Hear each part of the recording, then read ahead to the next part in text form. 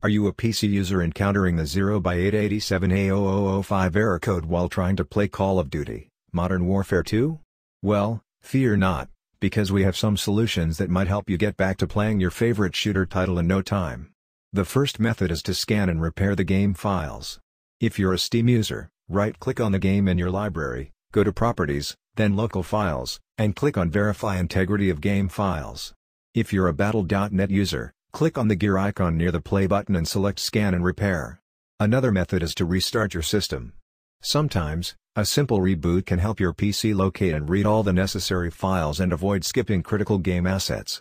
The next method is to update your graphics card drivers.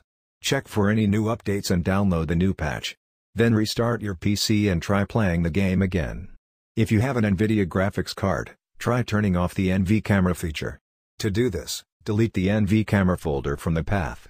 Then run cmd as administrator and execute the NV camera enable.exe off command. If none of these methods work, you can try reinstalling the entire game. But before you delete all the files, reach out to Activision support for guidance. The gamer successfully launches Call of Duty, Modern Warfare 2 with a smile on their face. These methods are not guaranteed to work for everyone, but they have helped out many Modern Warfare 2 players. So, Give them a try and get back to playing your favorite game.